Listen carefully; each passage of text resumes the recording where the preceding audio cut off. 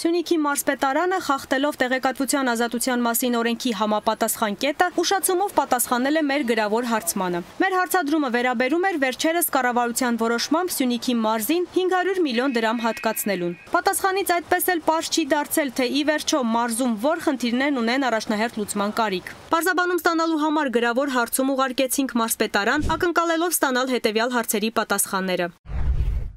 Կոնկրետ ինչ ծրագրեր են իրականացվելու հատկացված 500 միլիոն դրամով, եթե արդեն իսկ հայտնի է, ապա ներկայացրեք, թե որ ծրագրի իրագործման համար ինչքան գումար եք հատկացնելու։ Ինչպես եք որոշել խնդիրների առաջնահերթությունը։ Ինչու է Սյունիքի մարզում այդ գումարը հատկացվել Սյունիքի զարգացման եւ ներդրումների հիմնադրամին, մյուս մարզերում մարզպետարաններին։ Սյունիքի մարզպետարանը չէր կարող ավելի օպերատիվ արձագանքել մարզի խնդիրների լուծմանը։ Հիմնադրամը, որ կառույցին կամ կառույցներին է հաշվետվություն տալու հատկացված 500 միլիոն դրամի ծախսման վերաբերյալ։ Եվ այսպես, իրականացվելիք ծրագրի մասով տրված է հետևյալ պատասխանը։ Սյունիքի մարզի պաշտպանություն եւ անվտանգային միջավայր, Սահմանամերձ բնակավայրերի սոցիալ-տնտեսական, մասնավորապես գյուղատնտեսական զարգացում, այլ խնդիրներ։ Խնդիրների առաջնահերթությունը ըստ մարզպետարանի որոշվում է վարչապետի որոշմամբ ստեղծված միջգերատեսչական աշխատանքային խմբի անդամների հետ քննարկման արդյունքում։ Երրորդ հարցի պատասխանից միայն հասկացանք, որ 500 միլիոն դրամ ստացած Սյունիքի մարզի զարգացման եւ ներդրման հիմնադրամը հիմնադրամների մասին Հայաստանի Հանրապետության օրենքի համաձայն հրապարակում է իր տարեկան ֆինանսական հաշվետվությունները եւ ֆինանսական հաշվետվությունների վերաբերյալ աուդիտն իրականացնող անձի